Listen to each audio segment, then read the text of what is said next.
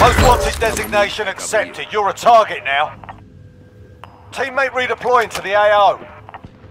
Your teammate's done in. They're returning to base. What happened next will shock you.